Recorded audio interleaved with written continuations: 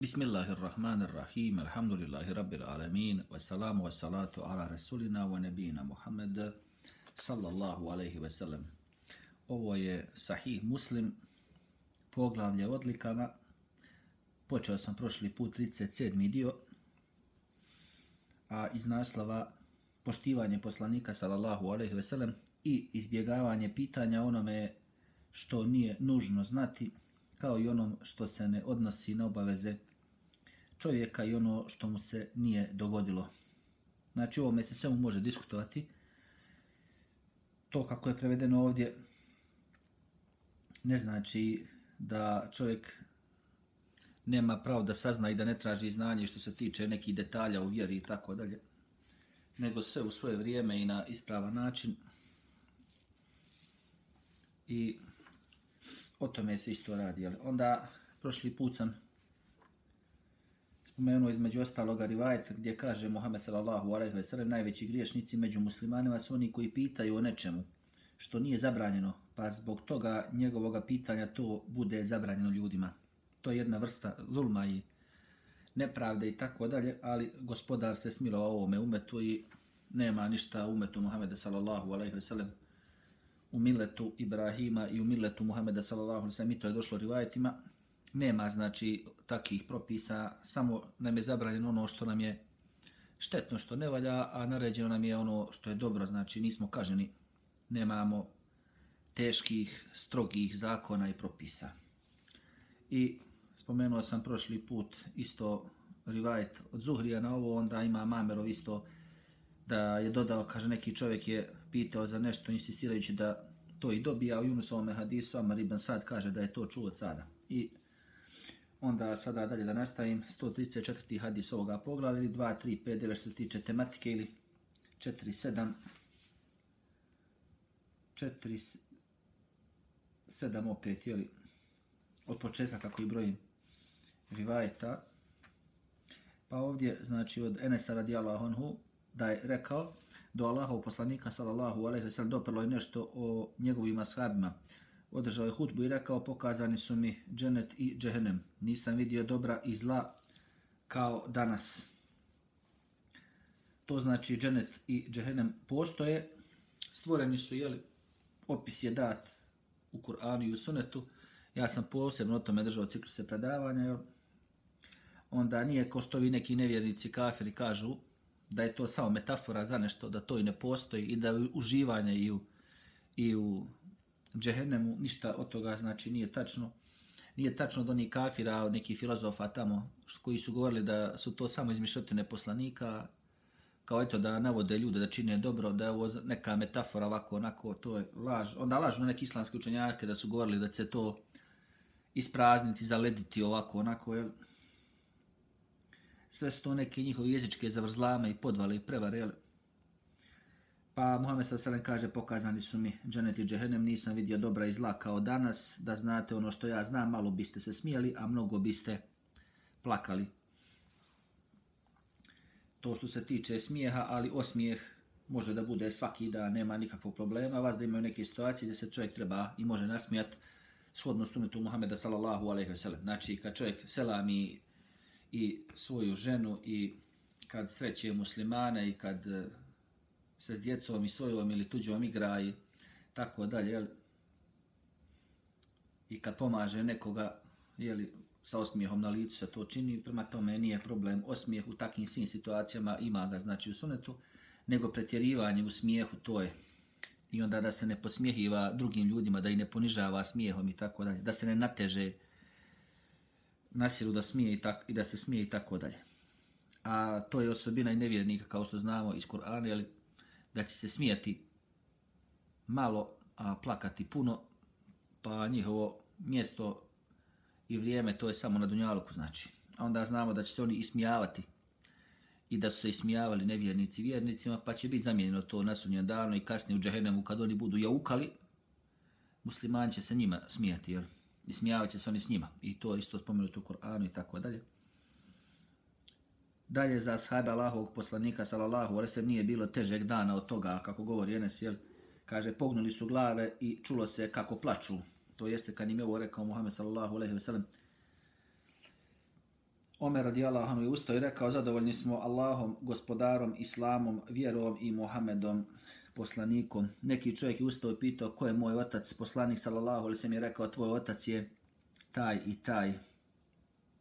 Potom je objavljen ajet o vjernici, ne zapitkujte onome što će vam pričiniti neprijatnosti ako vam se objasni. I ovaj znači rivajt, sa što ga navedo, on ima i svoju pozadinu. Ima znači više rivajta što se ovoga tiče gdje su ljudi došli da nešto pitaju. Imamo situaciju gdje se naljutio Muhammed sallallahu alejhi ve sellem pa je rekao onda pitajte i znači gospodar će mu dati objavu šta god sad pitajte. Pa je Omer to znači na ovakav način i zaustavio, jel? A ljudi su dolazili i pitali, znamo i onaj dolazi čovjek i pita Muhammeda sallallahu alejhi gdje je moj otac. Pa nije problem da čovjek takva je neka pita i nekad pita, ali mogu je znat. Ako ti otac umro kao mušrik, znaš gdje je. Pa mu Muhammed sallallahu alejhi kaže u vatri. Pa vidi da se ovome promijeni lice, teško mu pade, pa ga pozva nazad i reče mu i moj tvoj otac u vatri. To smo vidjeli kod imama muslima od Sahihu, nema nikakve sumnje. Neki govore da su proželjeni roditelji Muhameda sa osrem kao bili, pa povjerovali, pa onda umrli. Nije to ništa tačno. Roditelji su umrli kao mušici, isto tako je učinio Jebu Talib, a i Abdul Mutalib, znači, svi su umrli kao mušici, ne zato što nisu vjerovali u Kur'an i u Muhameda sallallahu alejhi kad nije bilo obaveza to, kad nije bilo objavljeno, nego zato što su širk činili. Čak i u vremenu Ehlul Fetra između dva poslanika i vjerovjesnika činili su znači neke vrste kufra i širka gdje ne može biti čovjek opravdan nikako, kao obožavanje kipova i tako dalje. To nikako nije moguće da bude čovjek opravdan radi toga i takih stvari. Jel? ja sam govorio o zabludama nekih učenjaka po tom pitanju. Govorio sam gdje ima opravdanje i kakve vrste kufra i širka čovjek može dobije oprošteno i ono jezički, jer onaj kufr nekad znači i nezahvalnost, pa je to lako shvatiti. Jel? Pa imaju veliki i mali kufr i veliki i mali širk, ima i skriveni čak. Pa se tiče velikoga, to je taj koji izvadi iz vjere, a ovi drugi nazivaju se mali, ali su veliki grijesi, ali nisu otpadništvo od vjere. Navodio sam primjere za to, govorio sam kada su neki ljudi opravdani, imamo četiri one situacije ili četiri grupe ljudi, imamo znači ovi u Ehlu Fetri, imamo znači oni koji umru kao djeca, kao bebe pogotovo, onda isto tako neki koji su dočekali jednoga sljedećega ili novoga poslanika što se pojavio u tome vremenu, ali su bili u dubokoj starosti ono i bolesni i ne, ne mogu da razumiju da shvataju pa imaju oni takvu neku vrstu opravdanja. I imamo, eto, to su te neke grupe, znači Ehlu Fetra i djeca i starci, a i oni nenormalni, normalno, jel? Normalno da nenormalni imaju, pa bivaju proživljeni, pa bivaju testirani na sudnjem danu, jel? Imamo dosta rivajta i najstrožiji muhadisi kriterijima kažu da nema to, ali nužno je da će biti ispitani, nužno je da gospodar nikome neće učiniti nepravdu, znači i tako dalje. I isto znamo iz hadisa, Allah zna šta bi oni radili, jel, i tako dalje. Onda imamo tako više primjera gdje čovjek hoće da zna komu je otac, jeli jedan isto tako asab pitao, pa mu kaže Muhammed Sosen taj i taj, a on inače tako bio nazivan. Pa njegova majka kaže, pa što me kao optužuješ, pa, pa ovo, pa ono, pa kaže, radila sam što su i ostale žene radile ono u džahilijetu, ili ne zna, iako su prihvati, prihvatile islam, pokajali su se i to, jel? Ali ne može ovaj, znači. I to žene treba isto da shvate. To što tebi ne smeta i ne znaš ko te je napumpo i ko ti je napravio dijete, to dijete hoće da sazna, hoće da zna komu je baba, ba. Ne moreš ti ženske perspektive, nije tebe bila briga. U džahilijetu s kim si spavala i, i s kim si zatrudnila, ali interes je toga tvoga sina. Njega interesuje, on hoće da sazna. Pa je tada mogo tako da sazna, jer danas bi, danas bi trebao iz nje izvlačiti s kim si bila. Hajde, majke opet, pa ne mora govorit s kim se kurvala, nego hajde u džahilijetu nisi znala ovo, ono, daj reci od dva, tri, od pet ljudi, reci s kim si bila, da zovem tamo da ih pitam. Ako je nek umro od njih, da vidi imaju li djece tamo, pa da daju mi uzrak, znači, ili pljuvačke, ili dlaku, ili, ili krvi, da, da vidim kom je babo, kom je otac, imam pravo da, da saznam. Moraju ljudi shvatiti da ima neko bol taj, to što tebi ne smeta tamo. Smeta djetetu, nije djete krivo. Jest to vas da tvoje dijete, ali sad je to odrasla osoba. Hoće da zna komu je babo, ima pravo da sazna. Dalje sljedeći rivajt od Enesa radijallahu anhu da je rekao neki čovjek i upitao Allahu poslaniče ko je moj otac. Poslanik sallallahu alejhi ve sellem reče tvoj otac je taj i taj. Nakon toga uzvišeni Allah objavio o vjernici ne zapitkujte onome što će vam pričiniti neprijatnosti ako vam se objasni. Znači može nekome neprijatno biti da sazna da mu je taj i taj otac. Jel? Pa evo, vidimo neke situacije da se ne mora recimo to pitati saznati. Ali evo, čovjek neki može da podnese taj teret. Neko hoće da sazna. Neko ne može da je zaspat bez toga. Poludi. I tako da je. Pogotovo šokovi su to neki. Kad ono živi sa očuhom i samo kasnije kažu mu nisi ti moj ili mu majka kaže nije ti on ni pravi otac. To su šokovi to uzrokuje opasne psihičke probleme nekima tako. Ili onda i samo, samo kažu kad poraste ovo dijete, znači dječak ili djevojčica kažu nismo ti mi pravi roditelji. Sad zna slučajno, neće da kažu ovi. Mi smo to usvojili ovako onako, to su katastrofalni problemi, to je opasno. Jel?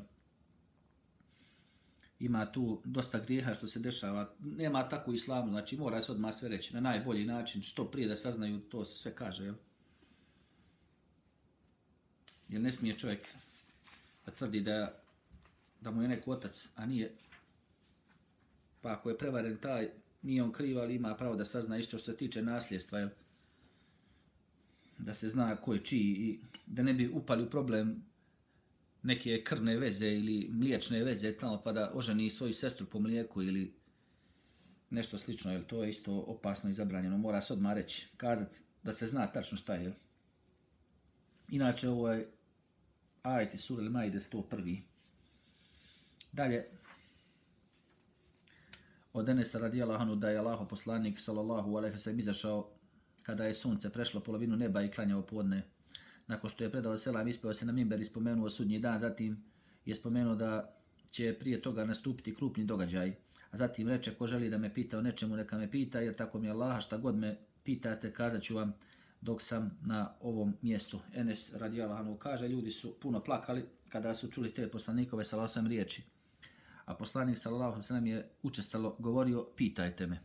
Znači ovdje vidimo dozvolio da ga pitaju, iako se bio naljutio radi nekih pitanja što su postavljali, ali ovdje kaže u redu, popustio je, znači mogo je da popusti po objavi, znači nije nikakav problem, iako se naljutio, iz njegove usta izlazi samo, znači istina, nema nikakvih problema i kaže tada je ustao Abdullah ibn Huzafe i rekao ko je moj otac Allaho poslanič. I to je taj o kome sam govorio normalno, I on kaže, tu otac je Huzafe, znači potvrdi da mu je taj u stvari otac, kako su ga prozivali njegovim imenom, jer da on to znao, ne bi.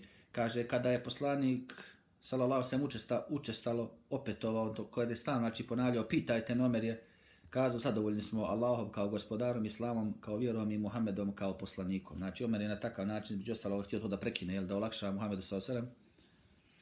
Jer se je bio naljutio, to znamo iz drugih rivajeta. Dalje, kada je Omer to rekao poslanik sallallahu alejhi ve sellem i zašutio, a zatim reče: "Da, tako mi onoga u je ruci Muhamedova duša, danas su mi na ovome zidu izloženi džennet i džehennem i nikada nisam vidio toliko dobra i toliko zla kao danas." Znači i tada mu je došla objava još je neke detalje, znači tada je vidio i onda prenosi ljudima i kaže znači na ovome zidu, znači tu mu je prenešeno i gleda i on vidi i opisuje, a niko drugi ne vidi, ali ima tako, tako dosta primjera isto kad su došli mušici, znači da ga testiraju kad je rekao da je bio na Isra i na Mirađu, jeli, pa su rekli dobro piši nam onda kako izgleda tamo Bejtul Makdis i kako izgleda znači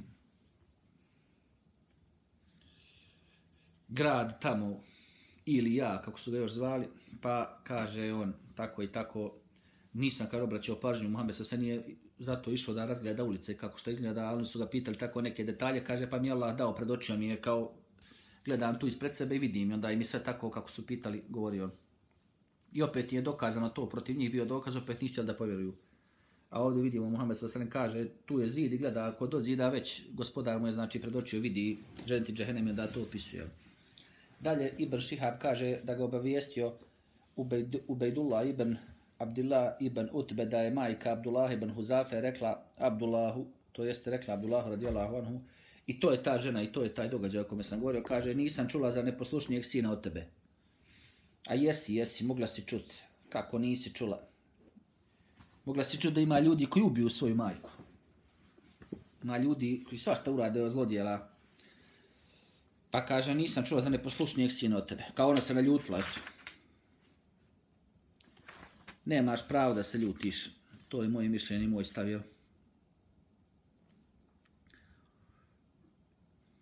Pa,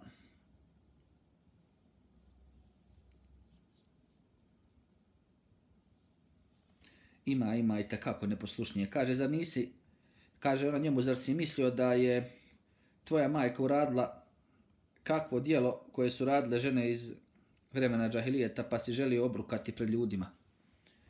Kao htio je da je bruka, pa ima pravo čovjek da sazna komu je babo. Ima pravo da sazna, kao radile druge žene. Pa nisu sve žene u džahilijetu takve bile. Nisu sve bile. Šta sad on da ne zna, jeli, komu je babo, jel? Ne znaš mu ti reći, pa eto, Muhammed s.a.v. je dozvolio, pitajte me. Vidimo, znači, da, da ni ovo nije stroga zabrna, vama što se spominje, nego čovjek ne zna. Obično ono se prenosi od Ibn Abasa da je rekao, jel, kada je spomenuto ovo, ja i uhellazine amenu, nešto se kaže naređuje ili nešto se zabranjuje. Ali evo vidimo ovdje da ima izuzetak i zato ovo nije svaki put.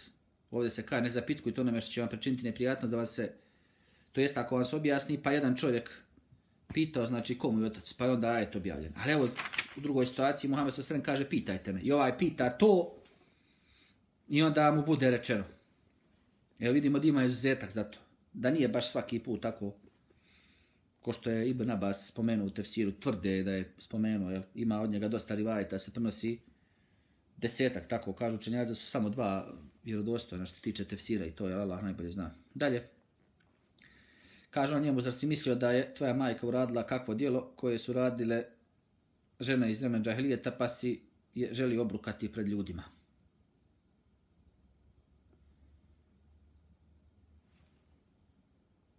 Kao ona se pravda time. To su radile i druge žene u džahilijetu, pa, pa ne napada on tebe.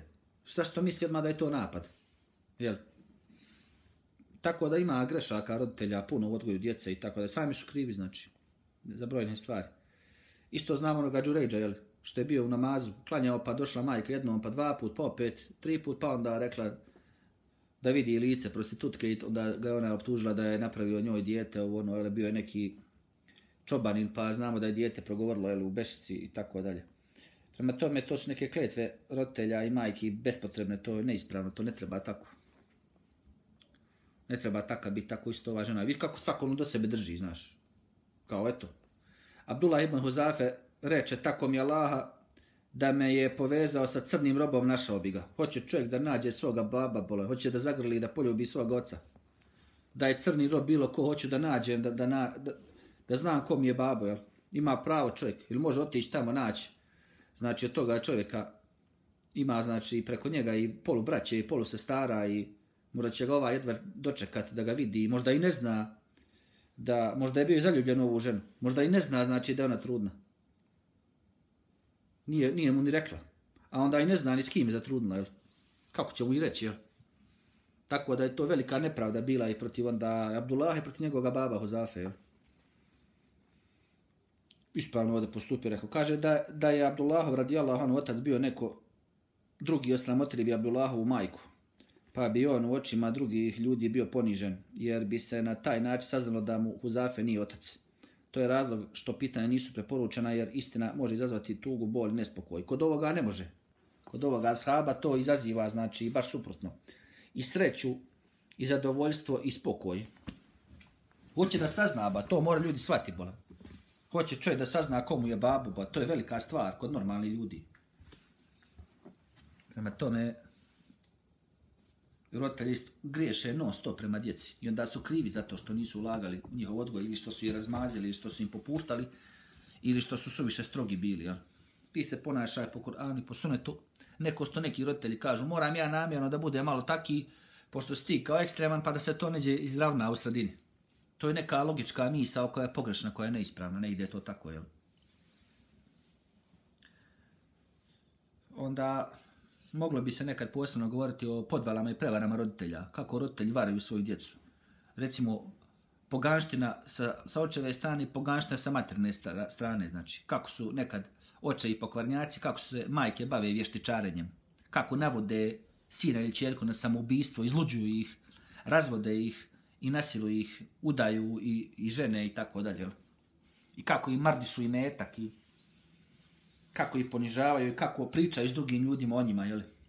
I tako dalje. I kako se pravdaju drugim ljudima za njihove postupke, jel? Ako se ona pokrije, pa ona mora majka da joj govori, eto ona se pokrila, eto kao nije ona luda, eto nešto, pa sin neće da se rukuje sa ženama, pa onda dolazi majka i priča, eto moj sin, znaš, eto nešto ovako, pa, pa dođu babu, kažu, pa eto tvoj si šta radi, pa suči se bavi, pa kako ovo, pa kako ono, pa nešto priča, ovako, ništa to, nego da su to normalni, kaže sine šta si mislio, čeri šta si misla, kaže ovo majka ili babo, nije bitno ili oba dvoje. Ako me neko traži babo, to kažeš, ili tata, zavisi kako ste odgajali, nek se meni javi, Evo moj broj telefona, koga interesi, nemoj me ništa priča. Šta te god pitaju ljudi. Pa prijatelj, neka rodbina, ništa to ne prolazi. Nego nek mene zovnu, nek mene pitaju. Ti tako, ko neki brat, ti neka sestra tamo, tako reci. Pitaju nešto za tebe, imam broj telefona, nek me zovnu. Pa kad te zovnu, ka, koji si ti? Koja si bona ti? Nešto niko nikad zvat bola. Nego to samo da ponize njih preko tebe. Ja, ne brne se niko od tebe, nije nikome stalo. Zaboravi to ba nemoj tako, znači, mahnit, i mahnita bit. To. Realno i nije tako, jel? E sad, budimo mi pozitivni, jel? Pozitivni trebamo biti, ne, da ne budemo negativni, ali isto nećemo zaluđivati sami sebe, jel? Isto tako, oni ljudi što govore, mi smo slabi, slabi ima, ovo, ono, ma to su lažovi boja prevaranti tamo. Ti neki brat, neka sestra, klanjate tamo, još klanjate na file, postite, još postite i, i na file neke, davate još i, i nešto to, malo i metka što se ima ekstra, davate na, na zekat i to i sad, E, mi smo slabi, nismo slabi. Mi smo dobri, alhamdulillah. Na dobrom smo, uvjeri smo. Živimo i umiremo kao muslimani. Dalje, još jedan rivajt od uh, Ubejdullaha ibn Abdillaha, kako mu je kazao neki učeni čovjek, kako je umu Abdullah ibn Huzafe radijallahu anha, kazao navodeći hadis sličan Junusovom. Tako da nemaju žene da prebijaju sve probleme i da nešto eto preko djece svoje. Ne, ne, ne, ti si kriva za to sve. Trebaš govorit. Nije on mogu izdržati. Znači, ovo se moglo riješiti za zatvoreni vrata. Kom je babo? Kaj ne znam. Skog se ljudi spavala onda? Skog se ljudi bila? Ne moraš, znači, govorit ono ko se na ulici priča, jel? Koliko te ljudi tarabilo, jel? Jesi li imala grupnjak, jesi li grupni seks imala s ljudima? Ne moraš tako. Možeš da izbjegneš te neke detalje. Ko mi je tata? Ko mi je čača? Ko mi je babo?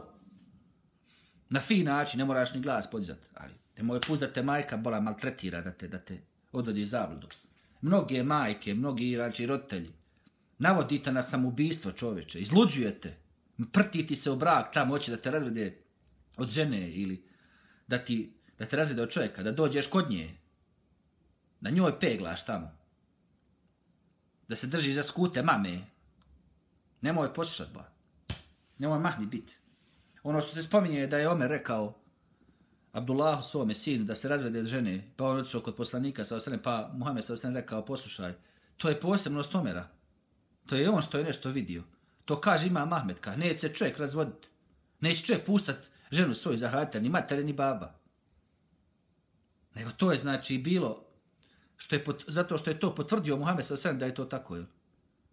I po poslanstvu znači Ibrahim ali selam kaže Ismailu ali selam nije ga ni sreo, nije ga stigao vid, nego kaže reci reci mu da promijeni prag. Pa on kaže, to je bio moj otac, ti si puštena, razvodi tu ženu. Sljedeći put kad je došao, bila dobra, zadovoljna žena, kaže on njemu, učvrsti svoj prag, to jeste ne puštaj, ne razvodi svoju ženu. Metaforom rekao to da ne bi uvrijedio ovo ili da ne bi napravili neke probleme ovo ono. Nego kaže, slobodna si, puštena si ili ostajem s tobom. Moj te baba pohvalio. Pa može biti zato. Nije to problem, zato što Ismail ima objavu ima poslanstvo. Zato što Ibrahim isto je poslanik, pa potom je radi, jel? Po poslanstvu. A za ovo drugo nema šablona. Ne, ne, ne. Miješaju se badnu život. Kad pogledaš koliko su ti puta i metak uzeli tako. Dala nena tamo. Dao neki dedo tamo. Gdje si ti bolan tu? Gdje si ti tu? Sve podijeliše tamo. Ono što si ti trebao, što si ti trebao naslijediti. na lijep način samo. Kad si i kada si dizala noge. Ja vam malo pričam i kroz šalu da vas razgalim. Trebam tako, ali to je faktički, to je bukvalno tako. Ba. Ovaj čovjek u pravu. Čovjek u pravu. Mohamed se se mu dao dozvolu da sazna da pita. Iako je ajde, tu po hadisu isto može, nije problem nikak. Njemu neće to, njemu je problem ako ne zna komu je babo. Jer pokvaranjači dođe zadrkivat i govorit ne znaš ni ko ti otac ovo ono. Pa hoću da znam i radi sebe i da ovi zašlute tamo. A ako ne zašlute sad, sad će još više odgovarati na sudnjen dan, uzet ću dobri dijel od njih, što olajavaju. I tako dalje. Je moglo se ovo iza zatvornih vrata riješiti? Mogla je maj, mate reći, eto onaj, taj, taj. Siguran sam u dva ili u tri čovjeka. Pa da ova ide da i traži tamo i sve.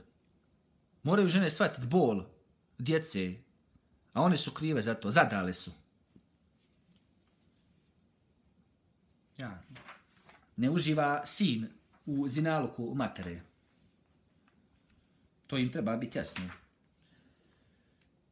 Dalje, sljedeći rivajt za isti ovaj događaj Denesa radi Allahanu, da su neki ljudi pitali Allahov poslanika, sallallahu alaihi sallam, pa kada su mu dosadili sa pitanjem, izašao je, ispeo se na mimber, te reče, pitajte me šta god me sada pitate, pojasniću vam. I to je to gdje se naljutio, znači isto ga se vidi da su dosadili pitanjima. Čuši to, ljudi su se preprašili da nisu neposredno pred nečim što će doći, jel da neće neka kazna im doći sad. Pa Enes radi Allahom ukazuje, okrenuo sam se lijevo i desno i vidio ljude kako su odjećom prekrili glave i plaču radi takvog postupka Muhameda sa. Prvi je upitao čovjek koji je bio u prepirci dozivan imenom drugoga čovjeka, a ne svoga oca. Pa reče Allaho poslaniče, ko je moj otac?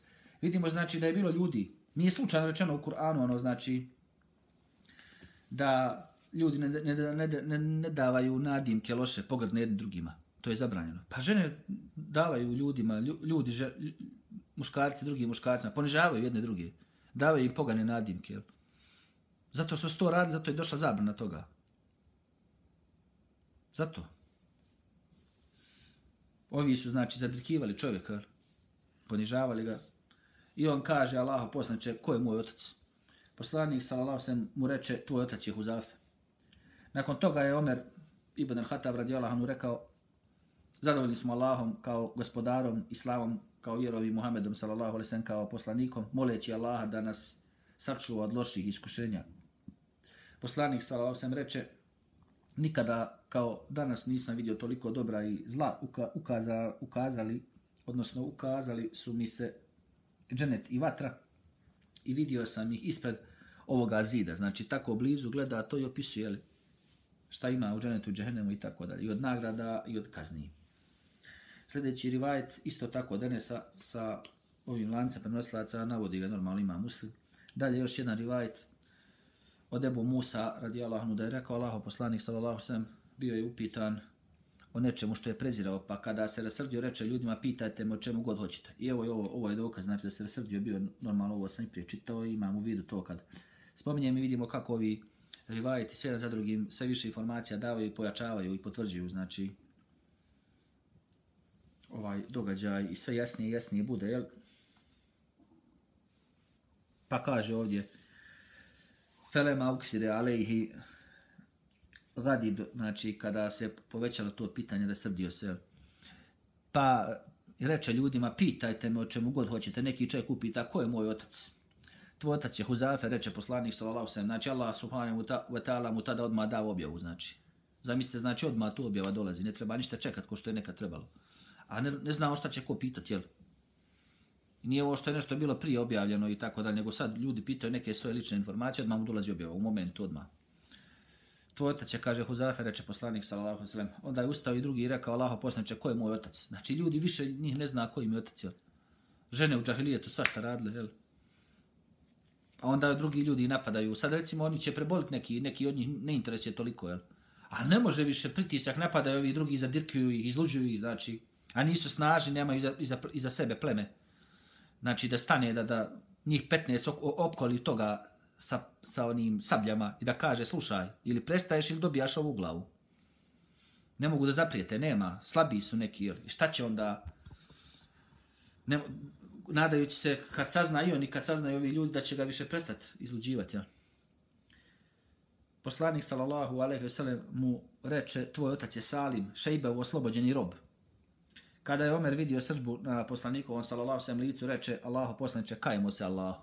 I ovo isto spomenuo znači zadovoljni smo Allahom kao gospodarom islamom kao vjerom i Muhammedom sallallahu alejhi kao poslanikom moleći Allaha da nas sačuva od loših iskušenja i ovdje isto tako Allahu poslan, čekajmo se Allahu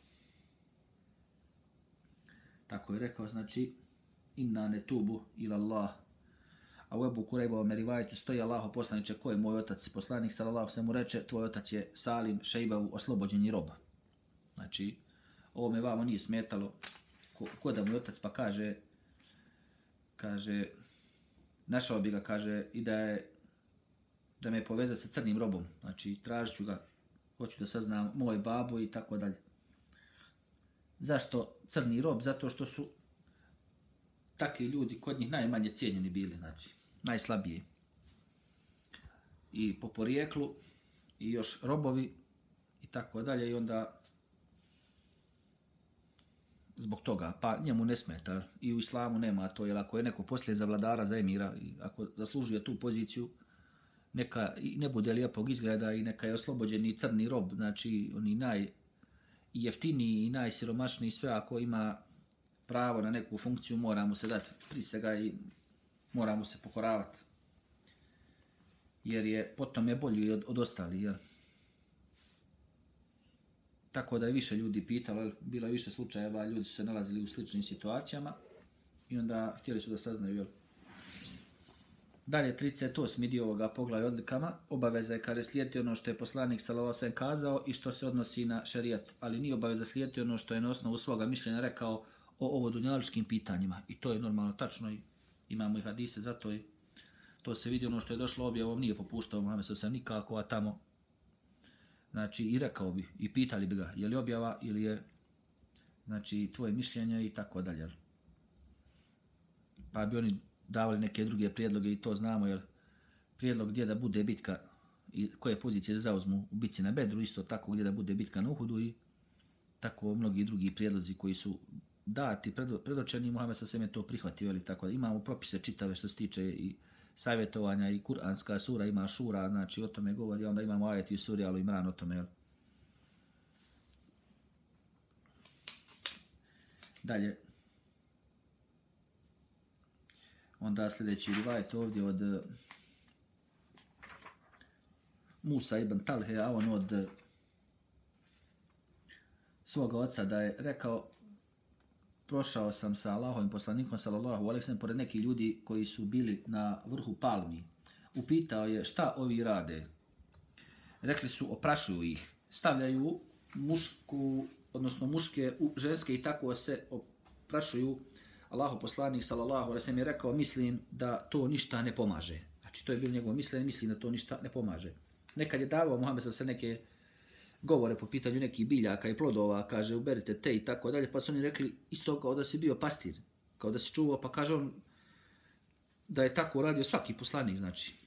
Pa je znao koji su ono plodovi najbolji za, za stoku i oni što su sazreli najviše i pobojili. Ali evo, ovo, ovo me nije znao Muhammed sa sve nije znao dovoljno i nije trebao da zna i nije o tome dolazila objava, znači o zemljoradnji i stočarstvu ne dolazi objava. Iako imamo propise i za proćenu, i za kupovinu, i za prodaju kome pripada, znači ovi šerijatski propisi, to je obavezno, to se uzima.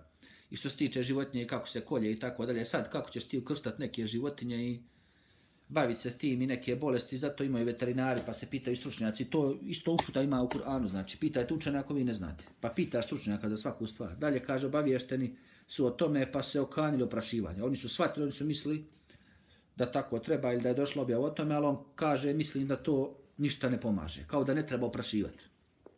I tačno je u nekim, u nekim situacijama, znači ne treba se oprašivati, dovoljno znači ono vjetar kad dođe i dovoljno isto pčele ako urade i tako dalje. Kaže, poslanik sa osam je, kaže, o tom njihovom postupku baviješten, znači kasnije baviješten, pa je rekao, ako im to koristi, neka to rade to je samo moje mišljenje i vi ga ne morate prihvatiti. Međutim, kada vam nešto kažem od Allaha, onda to prihvatite, jer ja ne griješim u prenošenju od Allaha. Znači, Muhammed s.a.v. i poslanici vjerovijesti ne mogu pogriješiti u prenošenju od Allaha subhanahu wa ta'ala. Što tiče dostavljanja objave, tu nema greške, nikad je nije bilo, niti može da bude i tako dalje, u to nema nikakve sumnje. A ako donesu neko mišljenje, ili ako bude neka greška u iđtihad, imaju jednu nagradu, a Allah subhanahu wa ta'ala ne ostavi ih u grešci. Znači greška ta bude ispravljena, dođu znači informacije dođu ajeti ili hadisi u slučaju Muhameda sallallahu a i kod poslanika i prije znači dođe im objava kako da urade ili da promijene to i tako dalje. Znači ne budu ostavljeni u grešci nikako. I ovdje je znači sasvim jasno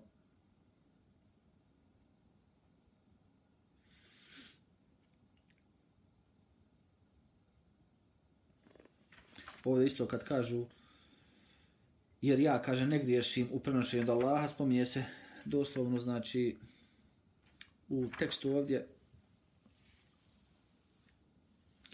fa inni len ekzibe ala Allahi azze wa džel, znači, ja neću slagati, ne mogu slagati, jel? Ili, znači, od, od glagola, znači, i od riječi gdje je ono kezib, gdje je laži, tako da, tako da, ne može ni slagat, niti laže, a ne, ne može čak ni greška biti. Jel? U prenošenju u dostavi objave ne može da bude greška, to je poznato. Jel? Oni su zaštićeni od toga, to ima veze i sa ono što je isma, znači ono što je od čega je sačuvan i zaštićen od ljudi, a inače isma, znači ima ta jedna vrsta svetosti gdje se ne može pogriješiti, ne da je svetac i da ima neke svete božanske osobine, nego jezički to odnosi, znači ne može da bude greška, ili ima i to je. Pa su onda ovi neki počeli govoriti kafir da su njihovi, njihovi šejhovi, njihovi neki imami da su bezgrešni, ono, jeli masumin. Ali to nije tačno, nema takvi ljudi, nego i Allahovi poslanici, vjerovijesti, nisu znači bezgrešne prirode. Nema takih insana, jer je rekao Muhammed sa da svi ljudi griješe, jel? i to namjerno, jel? Pa mora imati neke manje greške, normalno poslanici, vjerovjesnici, nemaju grijeha zato što su se pokajali i što im Allah oprostio i to, jel? A ne da su po svojoj prirodi bezgrešni, da ne mogu da pogriješe džini i ljudi nisu taki. Meleki ne mogu da pogriješe. Jel? Pa sam ja govorio o razlikama šta znači biti bezgrešne prirode, a šta znači biti bez grijeha. Ko pane kao šehid, nema grijeha, svi su mu grijesi oprošteni. Jel? Osim duga. Ako nije imao dug, nema ni to. Jel? A kad kaže ovdje u hadisu od svoga oca, to jeste od Talha ibn Ubedillaha, poznatoga ashaba. Jel? Znači, Talha je jedan od destocije kome je obećan dženet, jel? Onda, ovo je sasvim znači jasno. Imamo više primjera gdje Muhammed s.a.v. kaže i onoj ženi oslobođenoj robin, jeli, vrat se svome mužu, pošto on ide za njom, ona sa slobodna žena, on ostao rob, ona, ona hoda, jeli, on ide za njom, plače sve, kaže, vrati mu se, kaže ona, je li objava to, ili je to, znači, ili ja moram, ili došla objava, pa ću ja se pokorita, ili, pa Muhammed s.a.v. odmah kaže, što mi kažemo, i kratko i jasno i glasno, znači da nema se kaže ne, nego to je savjet od mene, ona kaže nema potrebe za njim. Znači nije ona odbila nešto, nego neće da, da bude s takvim čovjekom i tako dalje. Iako je možda i bolje bilo da, da će, rijetko će naći takvog čovjeka, da će možda tako voljeti, ali džaba, kad nizu uzvraćena ljubav, kad ona to ne osjeća. I tako dalje. Misli da može naći boljega i ima pravo na to mišljenje. Bilo tako, ne bilo. Jel? I ovo, na, ovom, na ovome smo propisu naučili, znači da ima koristi da se treba uprašivati palma, jel? I to su radili prije i posle ovoga su opet nastavili da rade. Ima tako u rivajtima, jeli da oni su javili zato što nije rodilo dovoljno, jel? Nije bilo, jel? I onda isto može se vidjeti direktno, znači kad ne bude, znači, oprašano, opet se desi da bude taj plod. Ali obično rastu one tri odjedno spojene i male budu zakržljale, jel?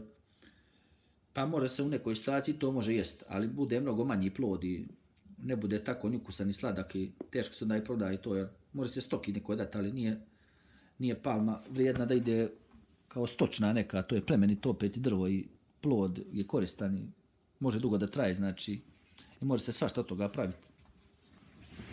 Prema tome, tako je to, jel? Isto ko što i kokoš, isto na, na svako dava jaje, jel? Samo ako ne bude kokota, neće biti piladi. A jaje će biti, jel? Pa eto se tiče konzumiranja jedenja jaja i ne mora, znači. Zato je i pogodna kokoš da se drži, znači, u onim kavezima i da svaki dan dava jaje. Ne može možda svaki dan, ali može često, jel? Pa ovo se isto vrlo bitno da se desilo. Moralo se ovo desiti pa da saznaju ljudi. I normalno da ima muslim to i zabilježi, između ostalog da objasni u naslovu da evo i ja se zadržavam ovde. I na našem jeziku da govorim jeste, ima razlike mišljenje Muhameda s.a.v. Koji, koje nije direktno povezano s objavom. Znači, neće se pomerati, ko što je rekao, nego će se oprašivati. Ko hoće da ima bolje, uspješnije plodove i tako da i to treba da se čini, vidimo. Prema tome, Muhammed sa s.a.v. nema znanje o gajbu, nema čak ni ovo znanje, niti je poslan da dava savjete, znači, zemljoradnicima ili ovim, jeli, uzgajačima voća ili povrća, nego ima i opšti propisi u islamu kako i šta ovo drugo što se tiče, to trebaju sami da traže da uče, znači znanje i to, jel? Iako imamo dosta, recimo, propisa i ajete i hadisa o džihadu i o borbi, opet ima ono što je najbitnije što gospodar hoće da, da se zna, da se mora znati, da se mora poštovati prilikom toga. A ostalo ono kako se prave nuklearne podmornice i kako se proizvode helikopteri i kako se obuka vrši i to, to je sve što mi moramo nešto sami da prokopamo, da nađemo, da saznamo, da testiramo, da ispitujemo i tako dalje. To isto što se tiče i zemljoradnje i stočarstva, da sam testiraš valja li zemlja kada šta, sijat i to je sve znači da mi pratimo ove Allahove zakone što postoje na zemlji i ovi što nisu znači šarijat direktno, nego ono sunetullah, Allahovi zakoni koji jeli, važe i na zemlji i u svemiru i u kosmosu, jeli, nekad i u nama samima prilikom jeli, liječenja i medicine, pa o tome nam nije došlo, znači, objavom detalj svaki ko što je došlo tamo za ibadet, za obrede gdje trebamo da radimo,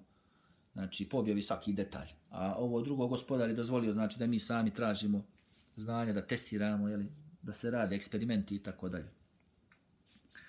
Onda komentar. Ovim riječima Allaho poslanik sallallahu sam jasno je stavio do znanja da on ne može pogriješiti kada je u pitanju vjera, jer sve što je u vezi sa vjerom i njenim propisima došlo je putem objave, to jeste od Allaha subhanahu wa ta'ala. Dalje, ne može ni Džibril da pogriješi u prenošenju, znači ni, Melek ne može svakako da pogriješi. A ne može da grijeh učini, ni greška ni grijeh, Meleki ne mogu da urade to. Dalje, treba reći da je Muhammed sallallahu kao i svi drugi ljudi u domenu svjetskih pitanja i problema, slobodno razmišljao i iznosio svoj sud.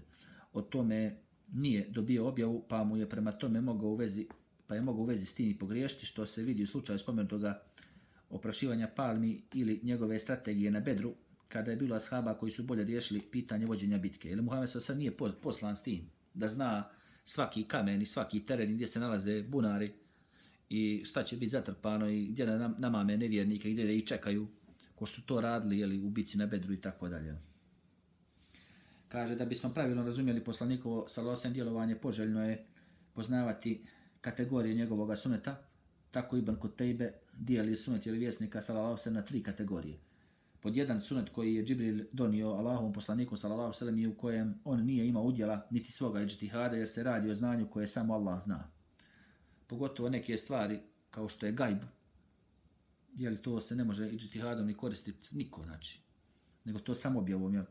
Dalje, drugi dio sunet koji je nastao kao rezultat iđtihada Allahov poslanika, sallallahu sallam, naime Allah uzvišen dozvolio je svom poslaniku, sallallahu da neka pitanja u datim okolnostima može sam rješavati. Takva rješenja bila su puno važna ukoliko ne bi uslijedila Allahova intervencija, znači ukoliko bi Allah pustio da to bude tako, on je zadovoljan znači s tim, jel? I u situacijama gdje, bi, gdje je bilo i džihad ili gdje bi bilo ono savjetovanje s muslimanima i tako dalje. Što tiče ovoga prvoga dijela, znači ova vrsta suneta kad ovako direktno dolazi sam objavom, znači ne mora da neko ne pobrka da je to samo sunet kao sunet dijelo, nego i sunetom, znači hadisima, nešto bude i vađib, jel? Onda treći dio, sunet koji je Allah poslanik sa osrem uveo u svrhu odgoja i obrazovanja, ukoliko ljudi budu slijedili tu vrstu suneta, imaće za to nagradu, a ako ne budu slijedili, neće imati grijeha. Za ovo imamo primjer znači puštanja kose, da ima čovjek dužu kosu, recimo do, do resice uha ili do ramena, pošto je to radio Muhammed s.a.v. A može znači da brije glavu, možda ima i kraću kosu od toga, tako dalje. I vidimo da to pod, pod ovo potpada i neka razmišljanja što se tiče recimo vratarstva, storčarstva i tako dalje. A onda imaju primjer gdje muslima ne smije da, da neke stvari govori ne smiješ se prtiti u medicinu kad nisi studirao to, kad nisi učio. Ne smiješ govoriti ljudima, radi ovako, radi nako, mašine rade i tako kad ne znaš ništa, to, to se ne smije raditi. Jel? Nemo da bude, da neko povjeruje i da se neko znači, pretvara, da se pokazuje da zna. Znam tako slučaj fabrika, znači, to došli uređaj, to su milioni koštaju mašine, ba roboti, sve znali ko nešto, nešto je stalo, jedan se blečak, ja znam ja ovako, onako, novi roboti, no, i ovi su mati što su ga pustili, znam ja i tamo nešto zabrljao, izbrisao program, ovi zovu tamo proizvođače, to se hitno leti helikopterom, dolaze stručnjaci, eksperti, to treba plati, treba, šta će, kad staje ta mašina, to, to treba da radi non stop, 24 sata radi non stop, mašina, taj roboti, to je, ovaj se izbrisao tamo, kako uspio to uraditi, i ovi se čude, sve pokvario, oni su mahti što su ga pustili, Čeće bola, nema šaka ljudi na svijet da zna. S tim on, on će nešto pritisnuti neko dume. I budale što su ga i pustili. Te zovi tamo iz druge države, ovi što su proizvodili, dolaze, leti helikopter na stručnjaci odmah, to plati koliko god samo. Gube se milioni kad stoji ta mašina, ono, robot stoji, jel ne radi. Pa, ovo je podjela na ovakav način, znači, ne moraju musliman da hifsiraju, znači, ovu neku terminologiju nije znači u terminologiji nego da se zna šta je šta jel pa neko može da zapamti kroz knjige neko može kroz terminologiju jednog učenjaka neko kod drugog ali najbitnije je razumiti i shvatiti te propise i imam u svemu tome znači za vrijeme ashaba ne postoji znači nešto rububijet neki uluhijet neki esmau vesifat tevhid hakimije, to ne postoji, znači, kod ashaba terminologijom, tim riječima tako, znači, to, to. Ali normalno ima znanje, sve to iz, iz ajeta, iz hadisa. Isto ova imena, znači, teđvidski pravila. Oni znaju to i pravila sve, ali kasnije će imena za to biti data. Tako da ne mora čovjek ni dan danas, mora naučiti učiti Kur'an, ali ne mora znati koje je pravilo i tako dalje. Ali eto, kad podučava, kad govori ljudima, sada je došlo do toga da se to koristi, jer nije to novotarija, nije to problem, jel? I to videli smo s vremena na vrijeme dolazi, znači, pa su neki rekli ima tevhid ova i tevhid ona, dvije vrste, pa su videli da ljudi počeli su sljedeće stoljećima i novotari se pojavljuju i onda griješe po pitanju Allahovih imena, lijepih i svojstava, pa onda su ovi dodali ima tevhid, esma u sifat, pa su neki vidjeli da ovi neće da sude po Allahovom zakonu, da čine kufr i širk, da tako griješe i uništavaju teuhid i to, pa su onda rekli teuhidul hakimije, jer toga. Iako recimo, neko će reći teuhidul hakimije je dio, znači rububijeta, nije to nikakav problem. Samo da se sudi po Allahovom zakonu, da se ispravno razumije, da se radi po Kur'anu, po sunetu kao zajednica, kao grupa, onako kako su radili ashabi, jer njima obećan dženet. Oni su najbolja generacija, kako se spominje u Kur'anu i tako dalje. S njima je gospoda zadovoljan. O tome se radio.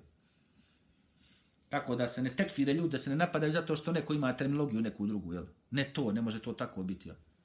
Videli smo terminologija, znači hadisa kod imama Buharije i terminologija kod imama Trimidije. Pa nije Buharija napadao Trimidiju sto ovako, sto onako, iako mu je bio šejh između ostalog.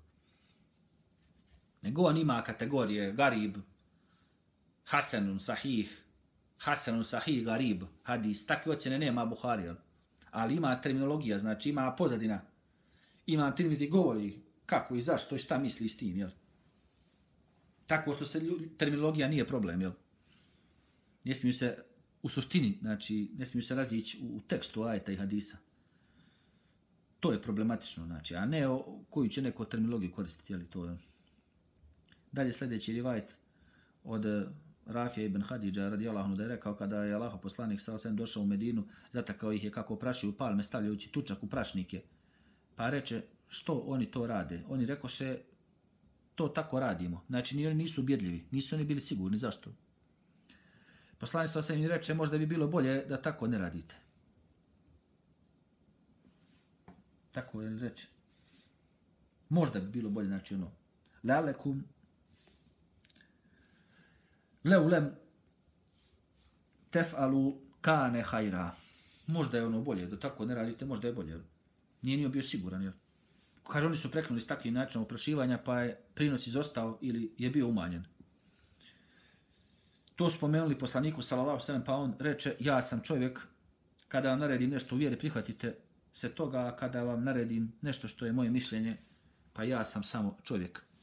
Ikrime kaže ili slično tome, jer Mukari kaže plod izostao, ne spominju, ne, ne sumnjajući u izraz. Znači ovdje je sigurno da je plod izostao. Po vajtu, znači. Evo vidimo kako je bilo, jel?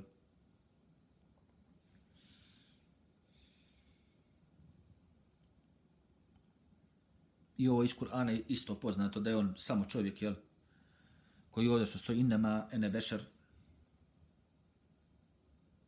Kada nešto znači naredim od vjere, to uzmite, jel? Isto iz Kur'ana imamo ovo, znači vidimo kako idu, znači i, i čak i riječima, čak i slične su izrazi Kad se udubi čovjek, kad čita detaljno ovo, znači kad ovdje kaže وَإِذَا أَمَرْتُكُمْ بِشَيْءٍ مِنْ دِينِكُمْ فَهُذُوا بِهِ Znači, kada nešto naredim iz vjere, uzmite to, prihvatite se toga, isto u Kur'anu, jel, Vema atakum resulu fehudhu. Kada nešto da poslanik, to uzmite. Znači, čak i ovi glagoli su slični, mogu, čak isti je glagol korišten. Nije neki sinonim za to, iako bi bilo isto značenje, čak isto. Znači, vidimo kako su usko povezani, znači, ajti hadisi. Ko normalno čita u arapskom, to jeste na arapskom jeziku i detaljno, znači, studira ovo, detaljno obraća pažnju, primjet će to. Alhamdulillah, to je nevjerovatno koliko je to blizu. Mnogo bliže nego što ljudi misle dok ne počne čitati, dubivati se u to, jel?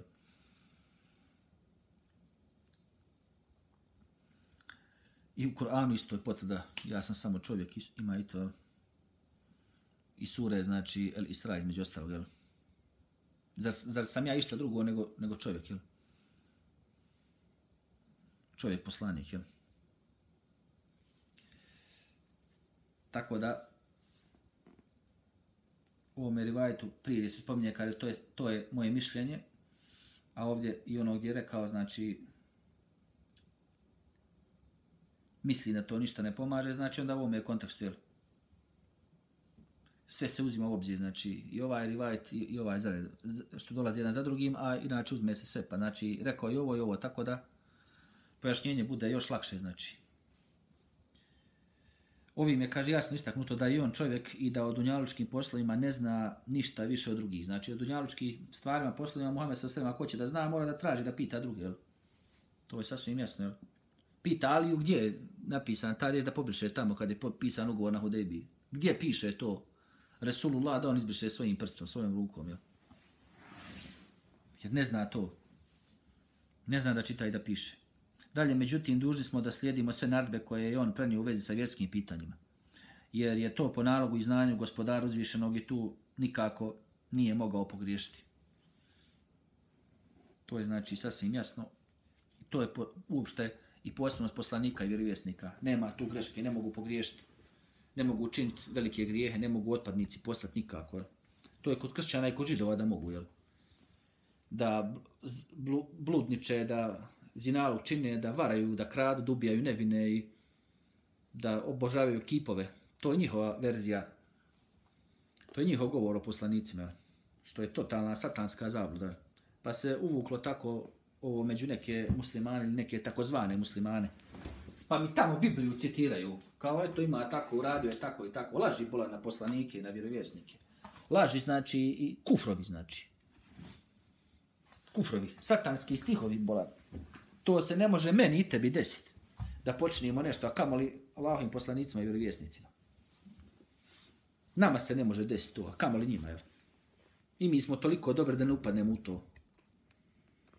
Alhamdulillah. Dalje, od Enes radijalahu da je vjerovjesnik sallallahu sallam prošao pored ljudi koji su prošivali palme pa reče možda bi bilo dobro da to ne radite. Te godine hurme su slabo rodile pa je poslanik sallallahu alaihi sallam prošao pored njih te ih upita šta je sa vašim hurmama. Oni mu rekoše rekao si nam tako i tako. Poslanik sallallahu reče vi bolje poznajete dunjaličke posle od mene. Znači ovo je sve jasno i mora se vidjeti da je to bilo i odmah na početku, znači i prve godine Allah najbolje zna Jer kad se spominje ovome od malo prije hadisu, kaže došao u Medinu, zatakao ih je kako prašio u palme. To znači vjerovatno one prve godine, Allah najbolje zna odmah na početku. Dok još i nije došlo dosta, znači, objave što se tiče propisa. Tek će biti objavljeni, znači, brojni i mnogi propisi, jel? Detalji dolaze, jel? Pa onda I što se tiče palmi, recimo, negdje nije mor, trebalo da se oprašaju palme, ništa posebno, recimo. Možda u Medini je bilo, je bilo tako, takva klima i to, a u, u Meki možda nije bilo ni potrebe možda je bio dovoljan onaj vjetar što, što puhne pa opraši i zavisi kako su bile posađene, kakva je konfiguracija bila, pa bi lako mogu, znači, da dođe, znači, do oplodnje, jeli, i tako dalje. A onda tako danas na plantažama rade. Znači, ove palme, koje su, ono, muške palme, oni drže niske. Niska, debela, nema, nema, znači, metar i po dva, jel? Rodi i onda dođe, oni pokupe to i stresu, znači, u one kese stave i onda zakače to i onda palme gdje rađaju jeli, plodove, onda se penju gore, puštaju da rastu u visinu, jel? I onda oprašuju, ima onaj uređaj sličan usisivaču, samo u, u suprotnom smjeru puše, znači, onaj, nije da usisava, nego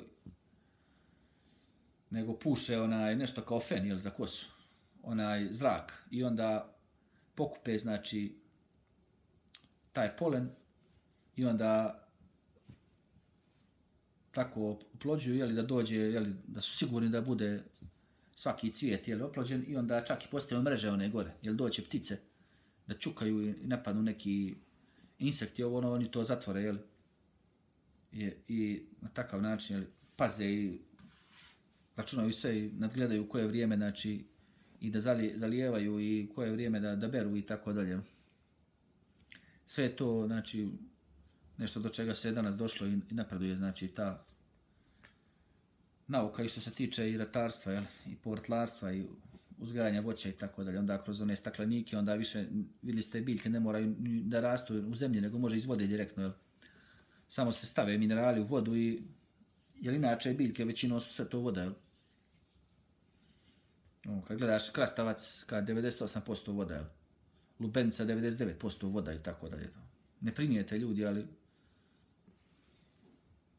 možeš tamo znači da, da staviš one sokovnike tamo gdje ima ono kao turbina, onaj, ne onaj sa, sa onim kao propelerom, taj slabiji, nego onaj ono gdje sve ono, znači, zgnječi, zdrobi, izmiksa i onda jel, vidiš koliko tu stvari ima tečnosti vode, da je većinom to.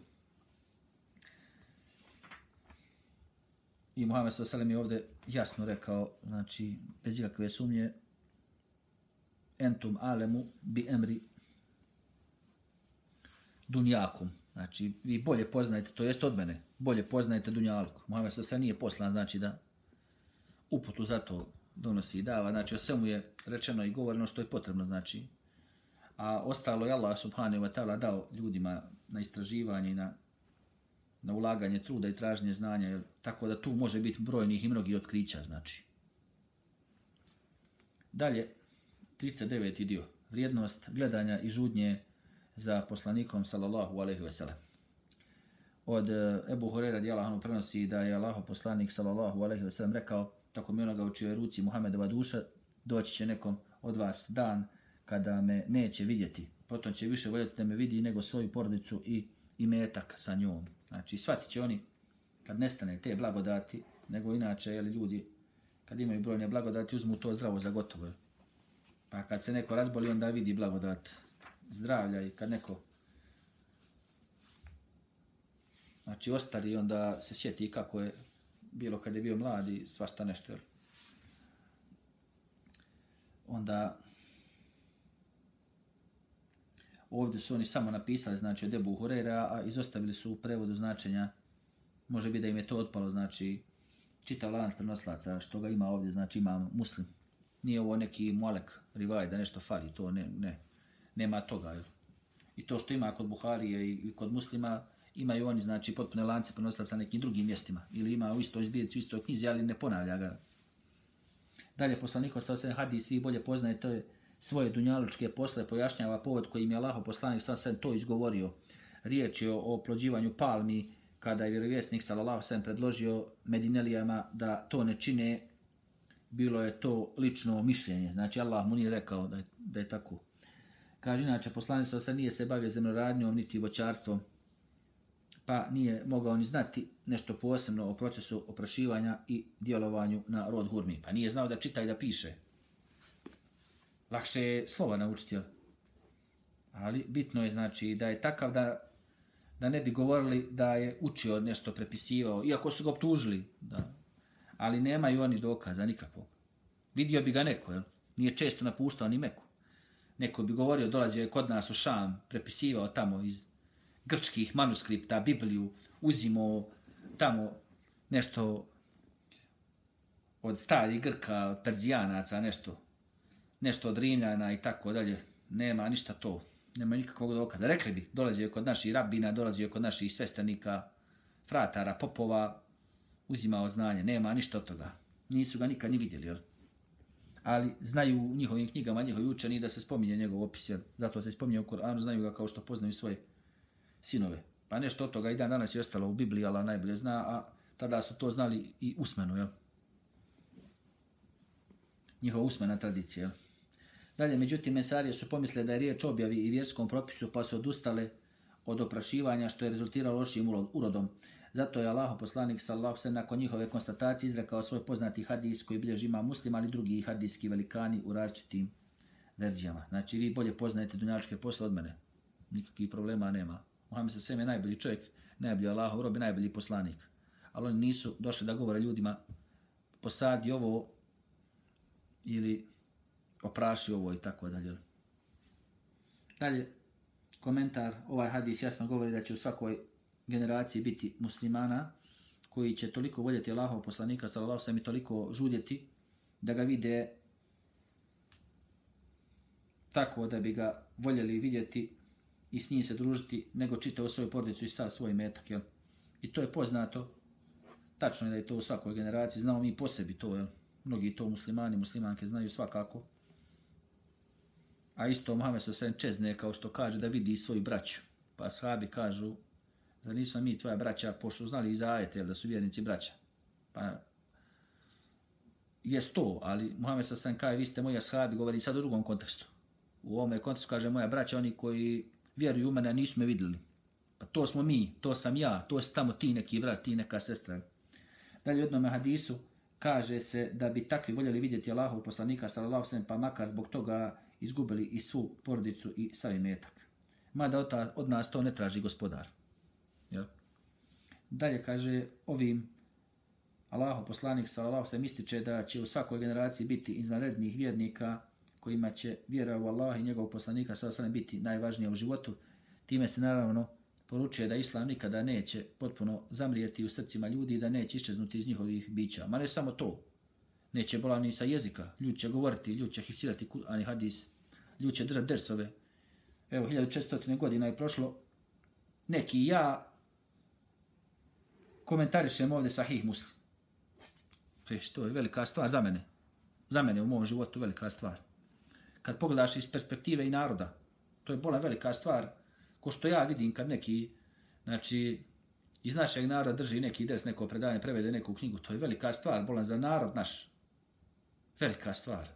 Preveli neki ljudi neku hadijsku zbirku. To je za čitav naš narod velika stvar. Pogotovo ako sam nešto uradiš, ako odradiš sama nešto za vjeru, to velika stvar. Ti prva, recimo. Ili ti prvi odradio nešto za taj narod na tome jeziku. Nešto o islamu. To je velika stvar, čovječe. Kad čujem ja da ima tako neki vrat, neka sestra, za, u, za mene je to velika stvar. Radi, radi njih ono. A sve Allaha radi, a sve posuneto Muhammeda sa osalem. A kamo li, kad sam odradim nešto, kako mi bude, jel? Drago. Dalje, kaže ovim hadisom, a o kom se hadisu radi, odmah ću sad navesti, ali to su odlike Isa ali salama, 40. dio ovoga poglavlja odlikama. Od Ebu Hore radi Allahanu da je rekao, čuo sam Allahov poslanika sallallahu alaihi sallam da kaže, ja sam Merjeminom sinu najpreči od svi ljudi. Najpreči znači Isa ali salama Muhammed sallallahu alaihi sallam, je Ibn, Mer Ibn Merjem, Merijemin sin znači Isa a.s. Vjerovjesnici su djeca jedne porodice, a između mene i njega nije bilo vjerovjesnika.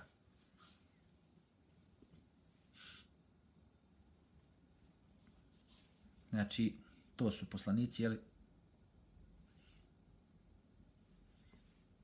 Kako se ovdje spominje, jeli, Eulad, Alat, pa ovdje su preveli kao jedne porodice, a između njega i mene, a ovdje konkretno znači između mene i njega nije bilo vjerovjesnika i to je tačno, jel? Nije bilo. Isa a.s.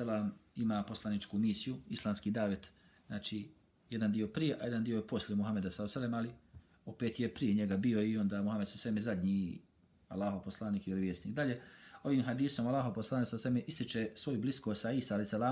on napominje da je on njemu bliži nego oni koji sebe smatraju Isaovim ali i selam sedbenicima. Pa svi smo mi, znači sedbenici, svi Allahovi poslanika i vjerovjesnika. Ono uopšte, a posebno Muhameda sa osam do sudnjega dana, jel? A eto, bit će neki ljudi iz umeta Muhameda sallallahu sallam, bit će iz ljudi iz mileta, znači Muhameda sallallahu sallam, i to je došlo u hadisu, može se reći i umeta i mileta, jel? Biće sledbenici, biće, odas, biće ashabi Isa. To je tačno, jel? Neki ljudi, znači, koji su od mileta i od umeta i Muhameda sallallahu sallam i Ibrahima, ali i selam, i koji su od umeta Muhameda s.a.v. a neki će znači biti od njih i od ashabu Isa a.s. Jel? I to su oni koji su spomenuti kao najbolji, znači prva generacija najbolja onda ova vamo zadnja isto, jel?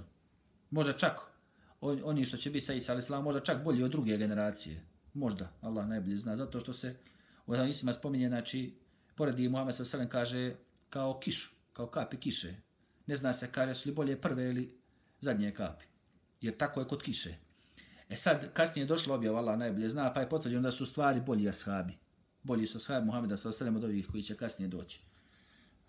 Jer to je objavljeno, znači, ajtom, vi ste najbolji umet koji si kada pojavio. Pa to je, to je onda jasno za prvu generaciju. E sad za drugu i treću, Allah najbolje zna. Da li, da li je bolja? Jer iako je došlo u hadisu, najbolja je prva, pa druga, pa treća, imaju posebne blagodati spomenute vama za ovu zadnju za ovu, za ovu generaciju. Dalje, isto o, ova blizina i znači ovo kad se kaže najpreči, da je znači Muhammed sa sve nama najpreči, moramo njega najviše voliti od ljudi, jel? I to preči nam je od nas samih, to se spominje znači u Kur'anu, to je sasvim jasno u suri Lahazab, jel? Da su njegove žene majke vjernika i vjernica, jel? to su najbolje žene, jel? Najbolje žene ovoga umeta, nema nikakve sumnje u to. E to je isto. Onda najpreči ljudi Ibrahimu a.s. Ko su oni? Oni koji su ga slijedili i ovaj vjerovjesnik, gospodar govori. Znači, Muhammed sa ima i tu blizinu i sa Ibrahimom a.s. Spominje se u Kur'anu, znači suri. Ali Imran, evo ovdje i blisk, bliskost i znači da je najpreči i Isa a.s. ovdje se spominje, znači ene eulen nas bibni Merijem. Dalje. Dok je Isa alaih salam bio među njima, živjela je i čista ideja monoteizma. Ovdje kažu u komentarima, ovo sad pričaju na neki malo čudan, otuđen način, nema to čista ideja monoteizma, to je 100% bio teuhid. Isa alaih salam dolazi s tim, to je islamska ideologija. Islamski monoteizam, teuhid, jedno bože, jedno boštvo, to je, znači, Allahova vjera, jel? Islam, Dalje, čak je i nakon njega ideja monoteizma ostala da živi u srcima njegovih učenika i sedbenika. Što se tiče Havarijuna, to je potvrđeno znači. To je jasno iz Korana i Sura El-Maida, nema nikakve sumnje u to. Dalje, spomenuta zastranjivanja, kako tvrdi Sejd Kutub, to je jedan poznat islamski šejh, šehid, ustad, kaže, nisu nastala odjednom, nego u etapama. I to je znači vas da, i oni kad su mijenjali objave, znači oni su radili u etapama. Osnov Benu Israila je bio, znači, Teura, posle kada je objavljeno Musa alaih salamu. I onda ona stalno mijenjaju, stalno falsifikuju, utaje nešto, lažne komentare, pogrešne teuile, mijenjaju, znači, i riječi sa mjesta i pozicije, pa dođe sljedeći poslanik Benu Israilu, pa potvrdi ponovo Teurat i dođe sa novom objavom što mu je gospodar dao. I opet tako, svaki put. I vidimo, znači, od Musa a.s. pa do Isa a.s. Svakom, znači, je od njih bio osnov Teura, svakom jer se tako spominje za Isa a.s. znači da ga je gospodar podučio i, i znači i kitabu i sunetu pa će biti znači poznavaće i i svaki ajet svaki hadis kad dođe posebno Isa a.s. u ahri zemanu a bio znao je znači dat mu je Inđil a znao je i Tevrat jel jer to je osnov bio Benu Israilu Teurat i onda objava još kao dodatak na to svaki poslanik koji bi bio poslan Benu Israilu. Pa su oni stalno mijenjali, znači falsifikacije su non stop. Ovdje što kaže, nisu nastala odjednom, nego u etapama, vas da je bilo ti neki munafika. Vas da. svakom umetu, ko svi, ko svi ljudi, jel? Svim generacijama. Pa i munafci to hoće, a i ovi neki što nisu oni munafci, nego ono, pretvaraju se samo kao su vjernici, ono, nisu ni munafci. Ili ono da zarađuju, napišu knjigu, pa kao, ko će da čita, on napisao ja ili... Jer imamo primjer za to u Koranu, jel? Oni koji pišu i govore ovo je da Allah, znači svojim rukama pišu, tako dalje. Dalje kaže, ona su putem koncila koji su se nizali pridodavana. To je tačno. Znači, što se tiče crkvene historije, oni su tako, znači, izmišljali, ubacivali su. Znači, nemaju uopšte trojstva, nemaju nikako spomenutoga, znači, u Bibliji. Nikako. Pa, pa je prvo, prvo je bilo, znači, diskusije stotinama godina, ko je Isa ali selam, pa onda došlo je do nekoga dvojstva, pa onda do trojstva, pa je li on, jesu li sva tri člana jednaka, znači, u, u trojstvu ili ima hirarhija neka i tako dalje, znači, I to se vidi, znači recimo prve 300 godina nema uopšte niko da tvrdi da su oni svi isti. Kasnije će oni reći da su sva tri, znači, i bića i osobe i ličnosti, znači iste. A i Biblija je protiv toga. A nije nikako ni vjerodostan. Jedan, nijedan lanac prenoslaca nemaju ni za jedan stih. A nisu imali stihove, to su od nas oni pokrali. Znači, obilježavanje znači brojima ajeta što mi imamo, oni su od nas pokrali pa su počeli pisati brojeve posle stiha i tako dalje. I u njih uopšte to nije postojalo, to je samo tekst bio, znači. To su oni maznuli iz Kur'ana, kad su vidjeli da ima, šta imaju muslimani. Dalje kaže tako da se na kraju došlo do čudnovate smjese predođbi priča i bajki gdje razum ostaje zapaljen, pa čak i razum oni koji tumače to učeni vjeruju u njega. I kad su muslimani, pogotovo u zadnje vrijeme, ja sam jedan od takih, alhamdulillah, držao te dersove iz komparacije religija i tako dalje. Oni su došli do toga, a vidimo primjer toga i u Kur'anu, jel? Da sad govore, ma, kaže, dobro, hajde, to i nemamo knjigu, nemamo ni originalu i kaže, ma nije ni crkva u početku nimala, kaže, crkva je bila, kaže, to je glavno, kaže. Ma vjeruj, kaže, da umro za tebe Isus, kaže, to je dovoljno sve. Znači, sve su ostavili vamo, znači. A židovi ono u početku, mi ćemo u dženet, ko što znamo iz Kur'ana, pa onda, pa onda su popustili, pa su rekli, pa mi ćemo prvo u vatru, mi ćemo odgoriti, pa onda ćete nas vi zamijeniti, znači. I na to su spremni, znači. Dalje kaže, čak i jedno od evanđelja koja su napisana nakon Isa alaih salama, Barnabinu, jasno govori o njemu kao Allahovom poslaniku, što eksplicite upućuje na zaključak da ideja monotizma živjela i nakon njega. Nakon toga došlo je do velike razine. Pa normalno da je bilo to. Pa Varaka je bio jedan od takih. Potvrđeno je da će dženet ići. Pa bio je Znači, Zaid radi Allahonu, otac od Sejda, a Sejd je jedan od destorcija kome će dženet, koji isto tako bio na Hanefijetu, na pravovjerstvu, znači. Bio pravovjernik, jel? I njemu isto obećan dženet, to znamo iz hadisa, jel? Iako je doček, dočekao i vrijeme Muhameda sa Oselem, ali umro prije nego što je Muhammed sa Oselem dosla objava.